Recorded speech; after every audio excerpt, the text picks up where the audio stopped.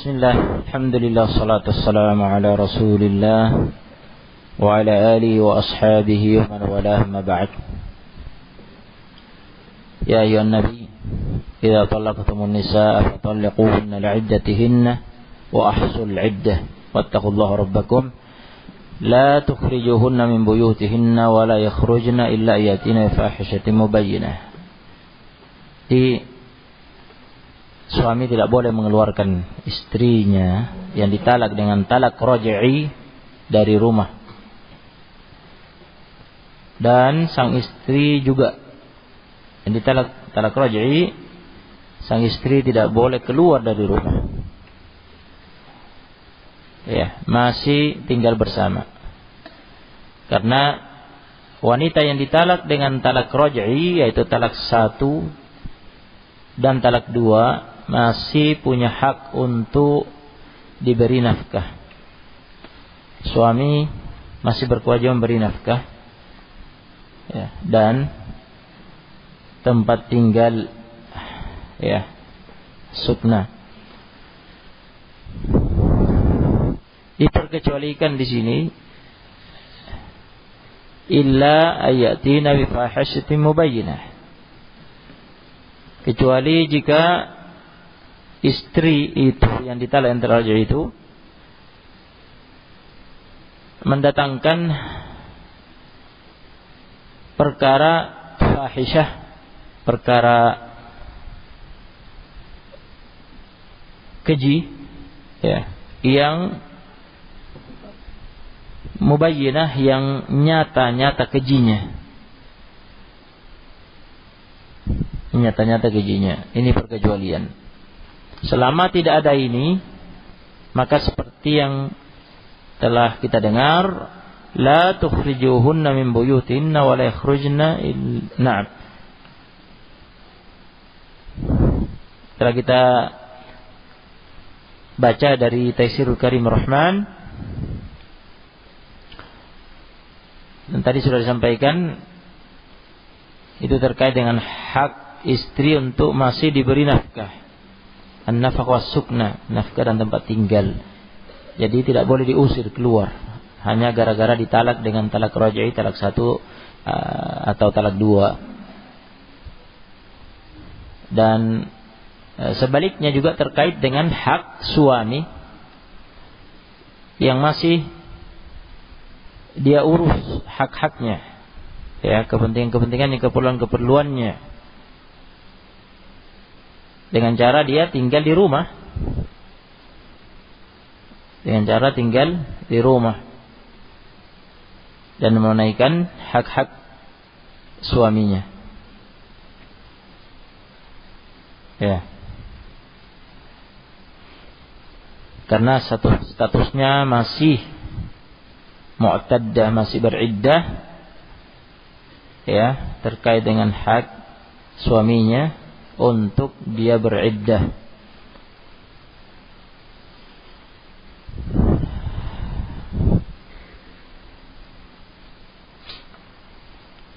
Hanya saja sebagaimana tadi sampaikan, tidak boleh terjadi hubungan kecuali didahului dengan rujuk ya atau dengan niat rujuk illa yati nabi fahsyati mubayyinah kecuali jika istri yang beriddah itu yang ditalai antara raj'i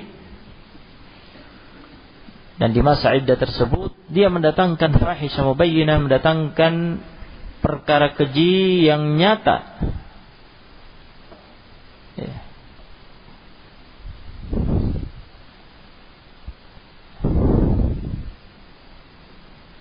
Kata Sa'di rahimahullah, "Ai bi amrin qabihin wadihin mujibin li ikhrajiha." datangkan suatu perkara yang jelek, ya, nyatanya tak kejelekannya. Yang mengharuskan dia dikeluarkan dari rumah, tidak mungkin dipertahankan. Jadi hak tinggal dia di rumah itu gugur dengan sebab perkara keji yang nyata-nyata kekejiannya itu.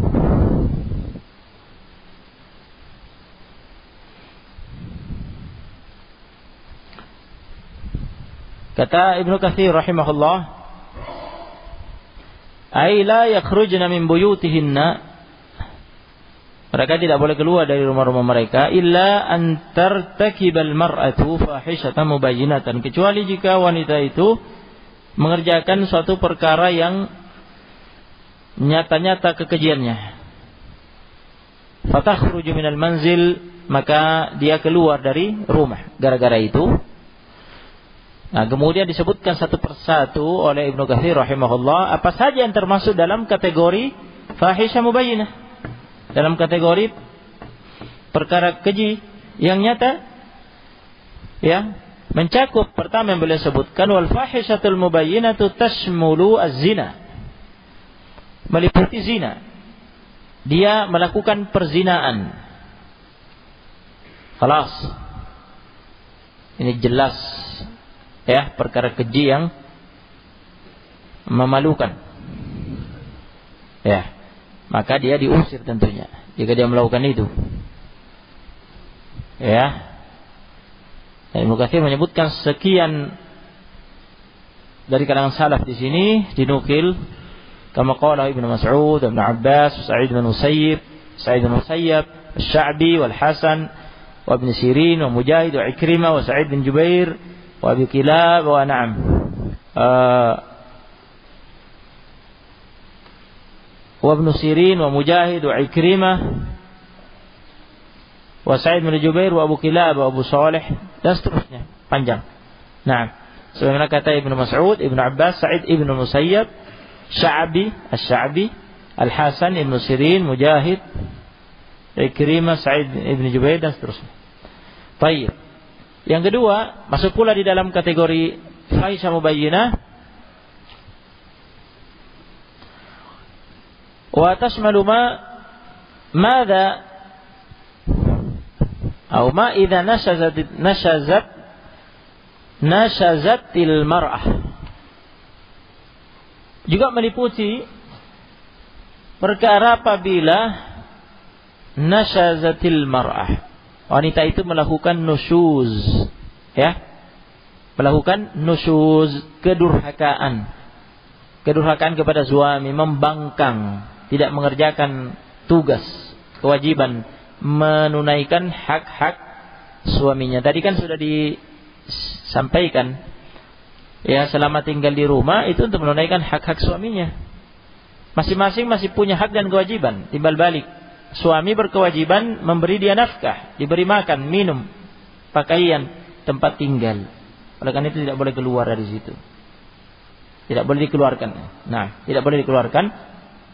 Tidak boleh dikeluarkan, tidak boleh diusir oleh suami yang menalaknya karena suami masih berkewajiban memberi dia nafkah, makan, minum, pakaian dan tempat tinggal dan dia tidak boleh keluar berinisiatif keluar tidak boleh karena dia wajib tinggal di rumah untuk menunaikan kewajiban suaminya mentalaknya itu ya memenuhi keperluan-keperluannya ya dia masih masak begitu ya masih mencuci memberes, membereskan rumah ya pekerjaan-pekerjaan rumah tangga semua masih dikerjakan timbal balik dia diberi nafkah pakaian dan tempat tinggal dia juga mengerjakan mengurusi rumah itu dan mengurusi keperluan-keperluan suaminya kecuali satu tadi yang tadi sampaikan yang tidak boleh karena dalam kondisi ditalak yaitu hubungan nah itu tidak boleh tanpa niat rujuk nah jika kemudian wanita itu dia sudah diberi nafkah kan ya ditunaikan hak-haknya diberi nafkah makan minum pakaian tempat tinggal masih selama masa iddah ya dia menanti ternyata dia membangkang kepada suaminya e, melakukan nusuz ya e, kedurhakaan tidak mengerjakan tugas tidak mau diatur misalkan masih dalamnya nusuz itu jika keluar rumah tanpa izin ya keluar rumah begitu saja tanpa izin dari suaminya ya karena istri tidak boleh keluar rumah tanpa izin suami nah misal dengan ini ya maka suami berhak untuk mengeluarkan mengusir dari rumah ini termasuk faisha mubayyinah kata Ibnu Katsir au badat ala ahli rajul yang ketiga yang disebut oleh Ibnu Katsir juga meliputi ini au badat ala ahli rajuli wa adathum fil kalami wal fi'al atau wanita itu ya mengucapkan ucapan yang badi kalamun badi yaitu kata-kata kotor berkata-kata kotor berkata-kata keji terhadap keluarga suaminya ya ber, mengeluarkan kata-kata kotor kata-kata keji kepada keluarga e, suaminya ya dan menyakiti mereka. Nah, menyakiti mereka dengan kata-kata kotor, kata-kata keji atau dengan tindakan-tindakan tindakan-tindakan perbuatan-perbuatan yang menyakiti mereka. Maka ini ya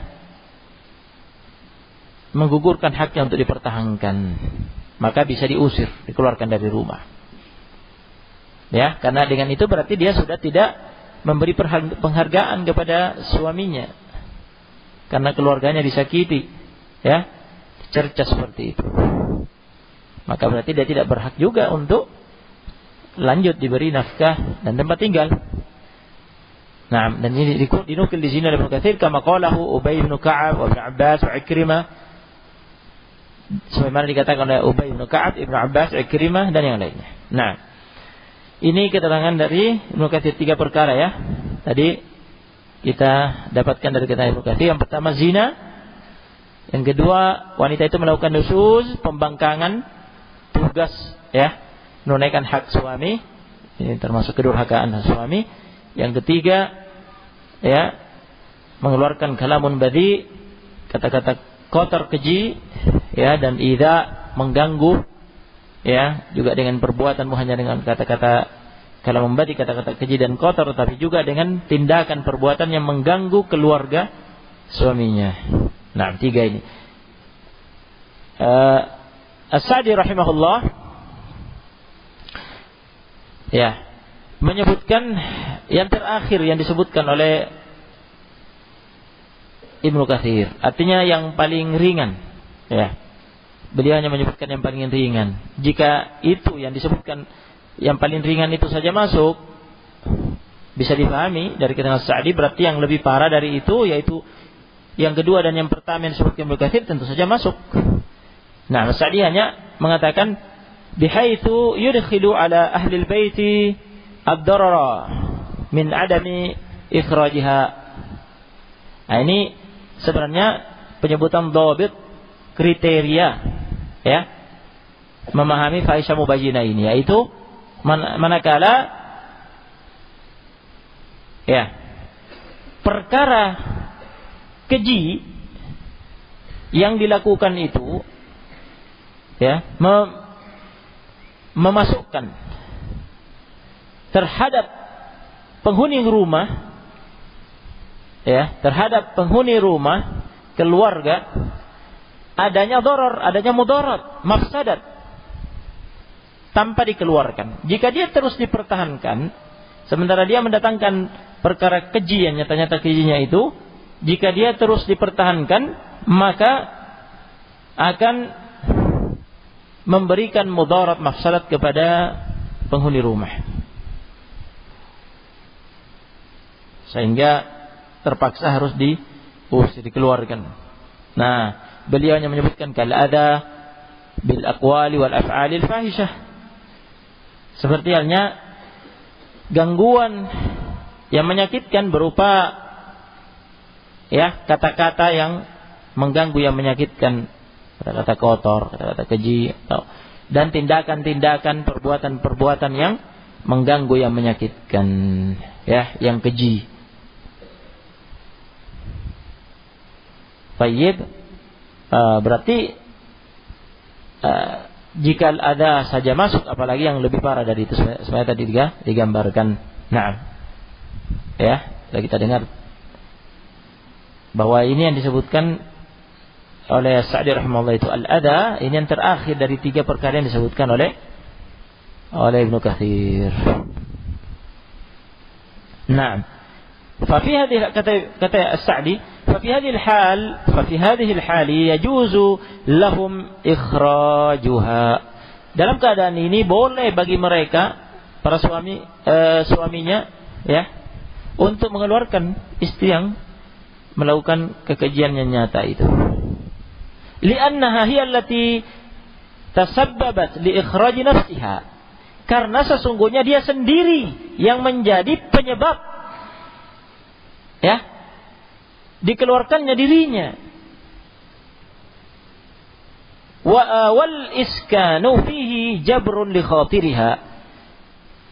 Ditampungnya dia di rumah, tetap tinggal di situ, diberi tempat tinggal, itu ya tujuannya adalah jabrun li khatiriha. Ya. menjaga perasaannya untuk menghibur dia. Kan kasihan sudah ditalak diusir, ya kan? Ini tidak ditalak tapi masih dihargai. Talak ya, jika memang mesti karena faktornya sudah menuntut dan sudah disampaikan di awal bahwa pada asalnya makruh ya pada asalnya makruh dan kemakruhan mentalak itu hilang jika memang ada hajat bagi suami untuk mentalaknya sebagaimana kaidah al karohatu tazulu bil bil hajah kemakruhan satu perkara hilang karena tuntutan hajat ya jadi tidak harus darurat karena tidak haram yang hilang keharamannya ya jika kondisi darurat satu uh, yani al, al, at-tahrim yazulu bi bidarurah keharaman al-hurmat tazulu bi bidarurah keharaman sesuatu hilang karena darurat nah adapun kemakruhan tidak perlu harus darurat yang penting ada hajat nah nah talak mesti dilakukan oleh suaminya karena dia sudah berhajat. Nah, karena dia sudah berhajat untuk mentalaknya. Tapi jangan mentang-mentang ditalak karena memang ya sudah tuntutan hajat memaksa dia untuk mentalaknya, jangan kemudian mentang-mentang gara-gara itu diusir. Harus dijaga tetap perasaannya. Ya, jabrun li warif pun biha dijaga perasaannya, ya disikapi dengan sikap yang lembut, eh, diperlakukan dengan baik, tetap tinggal di rumah, diberi nafkah, diberi makan, minum, pakaian, ya, tempat tinggal, sukna. Nah, tetapi jika kemudian dia yang dia yang kemudian menggugurkan ini, ya, menggugurkan hak tersebut karena dia melakukan mendatangkan fahisah mubayyinah sehingga tidak mungkin dipertahankan. Tidak mungkin dipertahankan karena dia sudah mengganggu ya. Mengganggu eh, naam penghuni rumah. Iya. Dengan kalamun badi, dengan kata-kata keji yang kotor yang tidak tindakannya mengganggu mereka, apalagi jika sudah membangkang durhaka kepada suami, apalagi jika sudah melakukan perzinaan. Ya. Maka tidak mungkin kan dipertahankan fahiyallati adkhalat ad-darara ala nafsiha maka dia sendiri yang memasukkan mudarat itu atas dirinya dipahami baik Kemudian kata Sa'di rahimahullah, "Hadza fil mu'taddati fil mu'taddati raj'iyah." Dan ini hukum pada wanita beriddah pada talak raj'i. Talak raj'i itu talak berapa? satu atau talak dua. Prosesnya istri ditalak. Kemudian talak satu. Pertama kali ditalak berarti talak satu. Hatta saking geramnya kamu saya talak, talak, talak, talak, talak, talak, talak. Sampai berkali-kali ditalak tetap satu. Saya, saya talak tiga kamu. Ya, tetap satu. Ya, tidak bisa dijatuhkan satu kali lebih dari satu. Nah, tetap satu yang benar. Ya. Nah itu itu yang benar di masa Nabi, di masa ada satu salam di masa uh, Abu Bakar sedih radhiyallahu anhu, di masa Umar radhiyallahu anhu. Begitu. Begitu pun talak dua. Ya, tidak bisa langsung talak tiga. Satu kali majlis. Hanya saja pada perkembangannya di masa Umar, orang-orang bermudah-mudahan mentalak, mempermainkan istri. Langsung ditalak tiga. Allah mengatur talak satu dulu, ada proses, rujuk, ya atau nikah lagi. Nanti ada masih ada kesempatan kedua, rujuk di masa iddah atau dinikahi lagi dan akut baru setelah jika sudah keluar masa iddah, baru setelahnya talak tiga. Tapi langsung yastajiluna umurahum. Mereka ingin menyegerakan urusan mereka memotong jalan pintas, tidak mau mengikuti ya kelembutan yang diberikan dalam syariat oleh Allah Subhanahu wa taala melalui tahapan-tahapan. Langsung talak tiga satu kali majelis. Anti tolik, tolik, tolik. Kamu saya talak, saya talak, saya talak tiga kali. Akhirnya oleh Umar diberlakukan supaya jerah. Nah, hanya Umar berjihad diperlakukan akhirnya. Pada awalnya tidak begitu. Tapi karena mereka seperti itu maunya begitu, akhirnya dihukum oleh Umar. Ya, dan beliau khalifah. Dia memperlakukan hukum berijtihad untuk membuat mereka jerah. Ini diperlakukan supaya orang-orang jerah. Karena setelah itu pusing kan? Mau rujuk gimana? Sudah talak tiga kok. Nggak bisa. Mau nikahi lagi? Nggak bisa. Harus harus disentuh dulu oleh suami yang lain. Setelah ditalak baru boleh. Pusing. Akhirnya makanya jangan jangan talak tiga langsung. Jadi supaya jerah mereka. Hanya diberlakukan oleh Umar. Ya. Paham ya? Jadi talak satu. Ya, berlaku hukum yang kita dengar ini tadi. Masih tinggal, serumah, dan seterusnya ya. Kecuali jika dia sendiri yang menginginkan diusir dari rumah karena itu tadi. Ya, illa yatina fa'isyati mubayyinah. Jika di masa penantian itu rujuk, ya kembali lagi normal seperti biasa. Nah, jika lewat masa iddah, berarti kan lepas. Tapi sudah keluar, sudah bukan suami istri, harus keluar, harus pisah. Jika kemudian setelah itu, ya, ingin kembali lagi bersatu lagi ya akad baru, nikah lagi, nikah ulang. Tapi talak satu meskipun terjadi akad baru, talak satu tadi masih berlaku. Maksudnya masih dihitung. Jadi setelah bersatu kembali dengan akad baru, Kesempatan mentalak tinggal dua. Jangan anggap oh itu sudah sudah tidak ada itu. Karena ini sudah baru pernikahannya berarti hitung lagi dari awal tidak, tidak. Itu tetap dihitung. Nah, jadi jika setelah akad baru tadi atau setelah rujuk hmm, talak lagi berarti sudah berapa? Dua. Ya, berlaku, masih berlaku hukum yang kita pelajari sekarang, masih tinggal serumah dan seterusnya itu. Jika rujuk di masa iddah langsung. Jika sudah selesai masa iddah berarti lepas pulang suami istri, ingin kembali lagi harus akad baru. Ya. Berarti kesempatan setelah itu ingat sudah dua kali ditalak, berarti tinggal sah satu. Jika ditalak lagi satu kali itulah namanya talak bain. Ya. Talak bain bainuna kubro. bainuna kubro namanya. Yaitu perpisahan besar. Perpisahan besar-besaran. Langsung putus hubungan suami istri dengan jatuhnya itu. Fa wa ammal ba'inu adapun al ba'in kata Sa'di, laisa laha sukna wajibah. Maka dia tidak punya hak tempat tinggal yang wajib diberikan oleh suami. Artinya dia harus keluar dari rumah. Ya. Li'anna sakana tab'un lin nafaqah. Karena tempat tinggal itu mengikut kepada nafkah. Wan nafaqatu tajibu lirraj'iyyah dunal bain. Sementara nafkah hanya wajib diberikan oleh suami kepada istri yang ditalak dengan talak raj'i, tidak yang di, tidak untuk istri yang ditalak dengan talak bain. Jadi langsung putus di situ.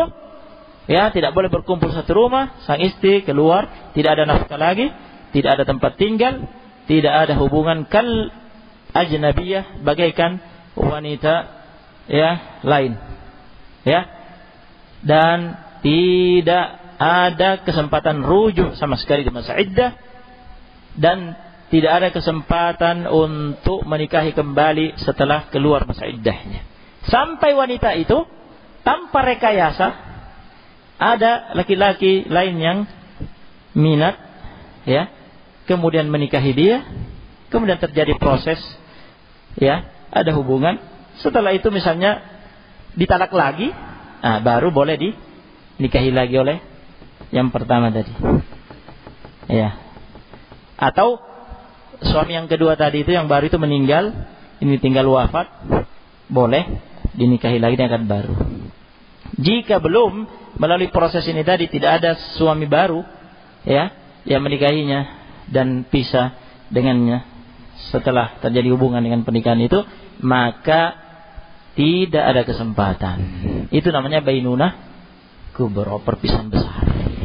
Nah, ya, jadi karena risikonya seperti itu berat, maka konsekuensinya berat, konsekuensinya berat seperti itu, maka lihat bagaimana lembutnya Allah SWT memperlakukan hamba-hambanya. Jadi diberi tahapan talak satu, talak dua, ya, dibuat sedemikian rupa dan dengan cara di diatur supaya masih tetap tinggal serumah di Masjid dari talak satu dan talak dua itu sangat sangat mendukung untuk bisa rujuk kembali. Ya. Itu adalah hikmah. Nah, sebagaimana di di akhir ayat. Nah, kita cukupkan dulu dari sini. Barakallahu fiikum. Subhanallahi wa bihamdika asyhadu an la ilaha illallah